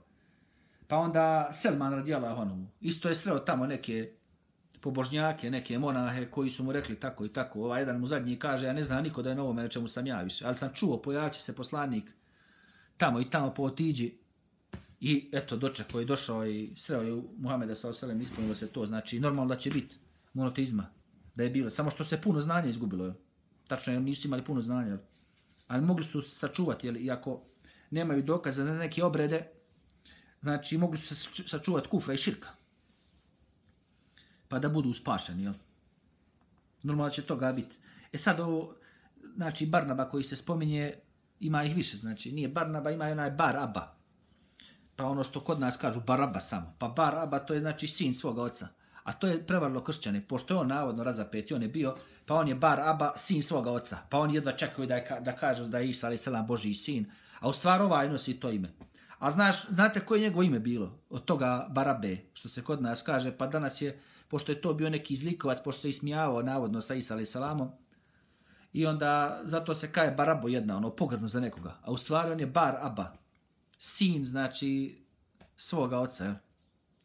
Jer je Eb na arapskom otac, pa to su slični jezici. Jer neki ih nazivaju semitski po čovjeku koji će biti kao sin Nuh, ali selam sem. Imamo neke imi hadise o tome, ali izgleda nisu ni hadisi, da su to slabi rivajti, da je, da je Nuh, ali selam imao sina sema. Može biti da jes, ali nema, treba dokaz za to, jel? nije dovoljno što ima u njihovim knjigama ako nije potvrđeno ajetom i hadisom. Pa, znači, to što se tiče toga, taj Baraba, ili što ga zovu ono, Baraba, taj isto se zvao, znači, Isus. On se je zvao, znači, tako. Pa to njih zbunilo. Onda može biti da su neki muslimani pogriješili pa su rekli da je zamijenjen kao da je neko uzeo Isa, lika Isa ali salama i da je taj razapeta, ne on. Ali ta teorija nije potvrđena ajetom i hadisom, jel? Nije potvrđena, jel? Šubihe lehum, znači njima se to učinilo, pričinilo. Jer i po Bibliji niko nije bio tu od njegovih studenta, od Havarijuna, svjedok, znači svi su ga napustili, svi su pobjegli. To je njihova verzija, to je iz Biblije, ali ja sam to objašnjavao prije u predavanjima o tome, ne bi se sad na to vraćao. Ali evo, što se tiče ovog Barnobinog evanđelja, izašlo je to neko evanđelje štampano tamo, ali ovi neki učenjaci kažu su i tu neki takozvani muslimani, neki pokvarnjadu davali nešto, ili upisivali su neke stvari, što nemoguće da, da je bilo tu, nije, dotad to ni poznato je bilo, ni objavljeno, nemoguće, znači da, da to, tako da su neki um, um, umiješali sve prste i tu. A što se tiče ovih evanđelja, i to ima ih preko 50 i to, znači crkva je nekako prihvatila ta četiri, ali bez razloga, nisu naveli kako i zašto i a stalno neki stihovi ulaze izlaze iz knjige i to ne mogu se složiti znači 80 i nešto knjiga ortodoksna Biblija 66 protestantska 73 knjige katolička tako da oni ne znaju to onda ove druge neke manje frakcije mormonska posebno imaju ekstra mormonsku knjigu pa Jehovi svedoci imaju neke svoje prevode neke svoje verzije Biblije i tako dalje dalje, da se ne pobrka, znači taj Bar Aba i Barnaba, to su drugi ljudi, jel? A ova jedan se spominje kao u Bibliji jedan od učenika, od studenta Isa ali salama, ali Allah najbolje zna šta je tu tačno. Pa imaju čak i svađe s njim i sa Pavlom, onim koji je glavni odgovoran, ili što ga zovu Petar još, njegova ona glavna crkva u Rimu, jel, taj što je pisao pisma i što se čisto vidi da je prevaran, da je lažo, on sam govori da, da, da laže da bi, pre, da bi onaj uvukao ljude u vjeru, jel? pretvara se ono da je pod zakonom za one što nisu. Znači, ono takiju vrši. A to je židovska ta znači, ideologija takija pretvaranja i to. Pa su to Rafidije uzele šija, ali nije ništa čudno. Njih je i osnovo, znači, židov. Oni su i židovska i sekta i frakcija u početku i bili. I ovi njihovi isto crkveni očevi ili oci isto su tako, znači koristili to takiju pretvaranje, ono, da, da, u, da ljude namame, da ih uvedu u vjeru, koriste laži i tako dalje. I onda smo vidjeli tako isto historijski, kako se crkva širila, iste te stvari, jer i dozvoljavali ljudima da nose i svoje kipove, da obožavaju, samo to da, da ono, uđu pod neku vrstu kršćanstva, da budu njihovi, pa eto, i u crkvi će im dozvoliti. Pa ste vidjeli još na crkvama tamo napravljeni neki kipovi, neki šeitani neki na zidovima i tako. Samo to, znaš, da, da se plaća da crkva ima što više članova, da vladaju ljudima, šta će ko vjerovat, pa vidiš na čemu su i oni bole. Vidiš na čemu su to. To, kip ti da, i dan danas u škole, u, u škole ove što idu kraju, ti kip, idi gore, Mariju, kaže, obožavaj, traži od kipa, pomoći ti to, to sve. Musici, pa, pa onda je razjedinjenje među njima bilo, ratovi, u ratove su išli, znači tekvire su oni među sebe, jel? katolici i protestanti. To su žestoki ratovi bili, znači u Evropi. 30-godišnji rat, 100-godišnji rat između njih trajao, non stop, genocid jedni na drugima vršili. Dalje kaže, nakon Isa ali Selama, kršćani su se razrešli i imali su kontraktorne stavove u vezi sa njim, da bi se približili stavovi koji su bili potpuno opračni, sazvan je koncil u Nikeji 325. godine, kojim je pristojalo po nekima 48.000 patrijaraha i episkopa, a po drugima 2040 i 8 svećenika i svi crkava tadašnjega kršćanskog svijeta. A to su podvale prevare bile. Onda kaže, o spomenutoga broja 318 ih je prihvatilo učenje da je Isus Krist Bog, da je ravnopravan svom ocu, da je od njega rođen i da nije stvoren. Iako je, kaže, ogromna većina učesnika toga koncila odbila da prizna tako učenje o Kristu, odluka manjine je postala obavezujuća za sve crkve i podanike rimskog carstva, znači istočno rimsko carstvo kasnije će biti, jel? Kaže, jer je na njihovoj strani bio car Konstantin koji je nakon pobjede nad svojim rivalom odlučio da primi kršćanstvo. Neki ovi istoričari kršćanski kažu nema dokaza ni za to. Čak dok se ovo dešavalo, ove njihove znači, sastanke i to, on je vidio da su oni fanatici, tako oni su njemu nudili, kaže, ućemo u tvoju vojsku i sve raćemo, samo nam dopusti slobod da obavljamo vjerske propise. Pa on vidio fanatici, ovi, uđite. I navodno neki kaže od njih da je primio kršćanstvo pred kraja života, a neki kažu što nema dokaza ni za to. Dalje, kaže, zbog toga Allaho poslanik sa osram kaže da je on preči Isa ali salam od bilo kojeg drugoga čovjeka, jer su drugi falsificirali Allahovu riječ i Isa u salam misiju kao poslanika, znači lagali su na Allaha subhanahu wa ta'ala.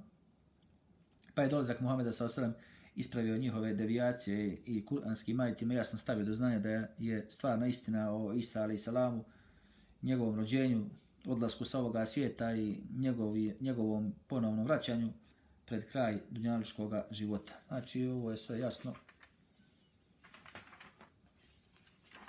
I ima još, znači ovdje, informacija, još jedna rivajet od Ebu Hrere da je Allaho poslanik, sallallahu alaihi sam rekao, ja sam Isa u najpreči. Vjerovjesnici su djeca jedne porodice, između mene i Isa nije bilo vjerovjesnika. Onda još jedan rivajet isto od Ebu Horera, a jedan od tih hadisa, znači ono, on bi citirao često hadise, ono jedan za drugim, sve to je poznato, pa to kaže ovdje kaže, a jedan od tih hadisa je i ovaj u kojem Allaho poslanik sallallahu sallam kaže, ja sam najpreći Isa, to jeste Isau Meriminome sinu i na ovom i na onom svijetu. Pitali su kako to Allaho poslaniče rekao je, vjerovjesnici su braća po ocu, a majke su im različite, vjera im je jedna, a između mene i njega nije bilo poslanika. Znači ovo je posebno, jel? sve su, svi su vjernici, znači braća, znači i vjernici, ili po vjeri, ali ima posebno, znači i da su vjerovjesnici, jer imaju oni još i ekstra, znači to, jel?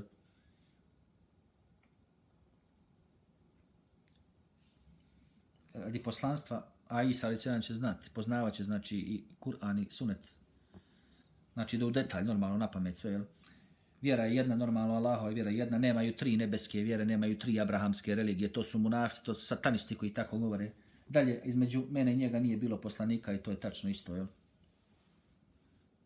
E bio je, znači, u isto vrijeme sa Isa, ali salam, poslanik bio je, znači, Jahja, ali salam, pa može biti, znači, da je, znači, Jahja bio onda vjerovjesnik i poslanik i prije Isa, alaih salama. Moglo bi se, moglo bi znači, znači, da je on rođen ono prije, jel? Pošto su oni bili rod, jel? pa u isto vrijeme, znači, bila su neka dvojica, znamo je li Musa i Harun, a u ovo vrijeme čak i trojica, jel? Jer je bio, znači, i Zekerija, pa bio njegov sin Jahja, pa bio Isa, ali se znači, tri poslanika u jedno vrijeme, Allah najbolje zna, a onda da se rodio Isa, ali selam, li Onda kasnije, jel? Allah najbolje zna, jel? kad kaže da je on da je, da je posljednji znači onda mora na takav način biti ili ono po poslanstvu samo što Isa ali selam odmah u, u početku progovorio je prva mudžiza je pogledajte u Kur'anu prva mudžiza brani majku svoju inače bila bi kamenovana i po njihovom zakonu a po Bibliji koja mu je prva mudžiza prvo čudo Isa ali da pretvara vodu u vino da navodno od njih napravi pjandure on i onda dođu kršćani što su imali probleme s alkoholizmom i ono, eto, sad nose krst tamo, nešto meditiraju i kažu, Isus mu pomogao, kaže, spasio ga od alkoholizma. A prvo čudo što čini u Bibliji da, da pretvori vodu u vino. Kako to onda? A to su džahli se, niti oni znaju njihove knjige, kamo da oni nešto o našoj knjizi znaju, o našoj vjeri. Dalje, zbog toga, kaže Allah, poslani sa salam i kaže da on preči Isa, ali salamu, od bilo kog drugog čovjeka, jer su drugi falsificirali Allahovu riječ, i Isa u selam misiju kao poslanika, pa je dolazak Muhammed da sam ispravio njihove devijacije i kuranskim ajitima ja sam stavio da zna da to jeste kakva je stvarna istina o Isa alaih selamu u njegovom rođenju, odlasku sa ovoga svijeta, njegovom ponovnom vraćanju pred kraj dunjaličkog života, evo ponovo ponavljam ovaj komentar. Dalje ima još jedan rivajat od Ebu Horera da je Allaho poslanik, sallallahu sallam, rekao svako ono će šeitan pobode pa zaplače od šeitanskog uboda osim Merijemina sina, to jeste osim Isa a.s. i njegove majke. Jer to znamo, ona dova koja se spominje u Koranu, da je učila njena majka, žena Imranova, da, sa, da je sačuvao od šeitana, znači njen porod i njeno potomstvo, pa to je bilo tako, to znamo, uslišana je dova. Dalje kaže koliko se Allah plemeniti brine o Merijem i njenom mesinu Isa selamu najbolje se ovaj autentični hadis. Nakon ovoga hadisa, Buhari radijalanu citiraju kuranski ajet u kojem se Merijemina majka obraća Allahu nakon poroda, Čak se meleki obraćaju Merijem i nagovještavaju njenu posebnu poziciju. O Merijema, tebe je Allah odabrao i čistom stvorio i boljom od svih žena na svijetu učinio i suralom ran 42. Ajde. Prevodu značenja. Jel? Dalje, nakon toga meleki nagovještavaju to nad naravno rođenje i dostavljaju Merijem i radosnu vijest, a kada meleki rekoše o Merijama Allah ti javlja radosnu vijest, od njega riječ, ime će mu biti El Mesih, sin Merijemin, bit će viđeni na ovom i na onom svijetu, jedan od Allahu bliskih. On će govoriti ljudima još u Kolijevci i kao odrastao i bit će čestit. 45 i 46 ajati iste sure Lalu Imran Onda kaže, potom je Buhore rekao, proučite ako hoćete, ja se, utječ, ja se utječem za nju i za njeno potomstvo od prokletog šeitana.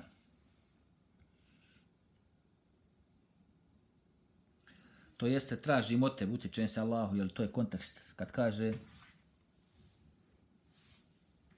وَإِنِّي أُعِذُهَا بِكَ وَذُرِّيَتَهَا مِنَ الشَّيْطَانِ الرَّجِيمِ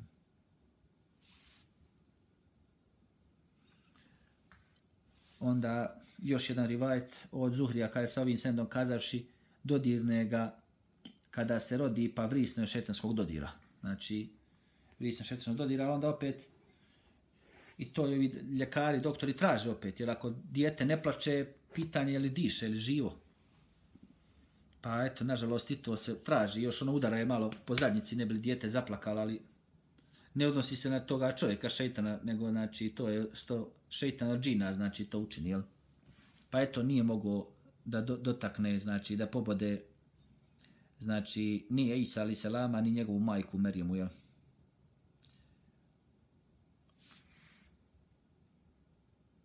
Dalje ovo, ovo što se spominje ove dove u 36. majetu, jel?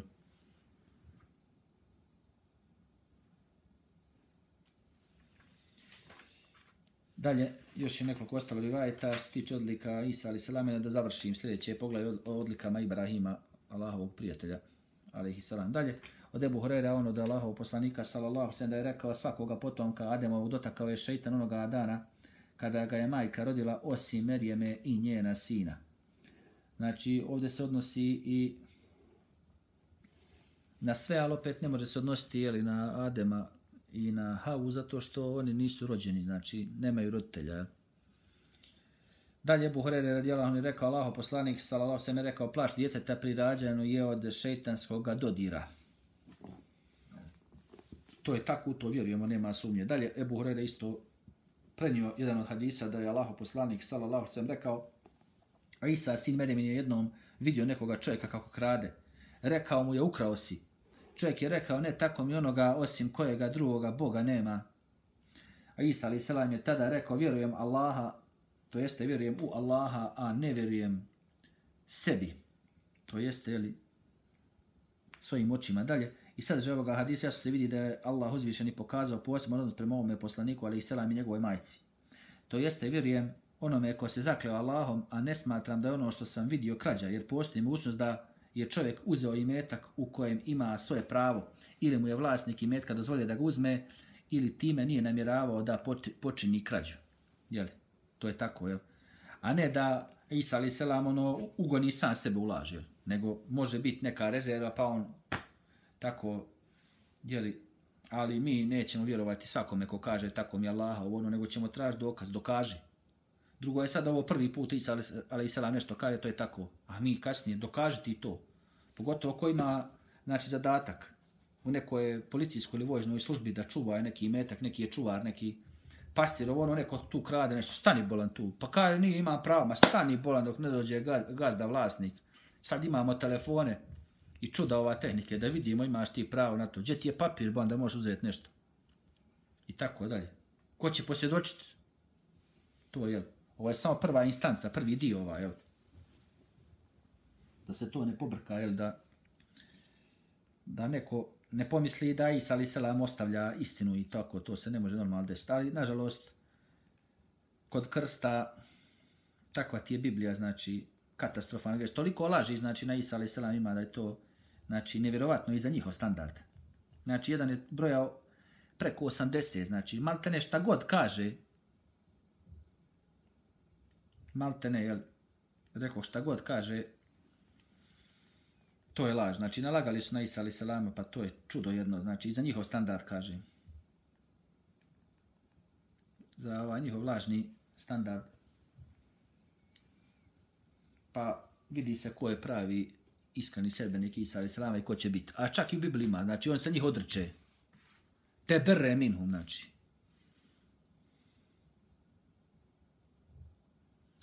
Odricanje, jel? Radi njihovih zlodjela i laži i te ga proglase nekad Bogom, te nekad Božijim sinom, te nekad jedan od božanst, božanstava, ovako, onako, nema šta nisu slagali na njega. Prema tome, ovo je vrlo bitno da se shvati ovdje, kad ovaj kaže nisam ukrao, znači ako se vidi, može biti neki razlog, a ne zna, nisa ali salam gajbi, ali pa može biti, znači da je uzeo metak, ima pravo, ali ne vidi se iz te perspektive odatle, ili vlasnik mu rekao dođi uzmi, ili nije namjerao da počini krađu, na primjer ovaj mu je dužan pa ima pravo da uzme jeli, ili nešto slično. A ne samo, znači, ako se neko zakone Allah, da mi moramo to povjerovati. Da mi odmah mislimo da je to tako. Znamo da je to osobina munafika, kako se spominje u Kur'anu, jel? da se oni kriju iza svojih zakletvi, jel? I ovim se završava 40. dio, jel? Pogledaj odlikama. Za sve toliko. Subhanak Allahumma bihamdik. Ešedun ila ilaha ila anta astaghfiruka wa atubu ilaik.